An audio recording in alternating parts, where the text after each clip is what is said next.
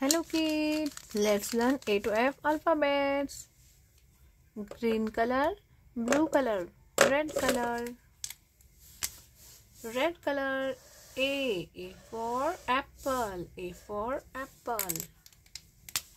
Green color B, B for ball, B for ball.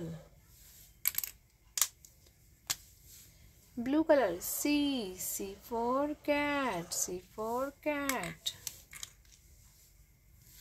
Green color D, D for dog, D for dog.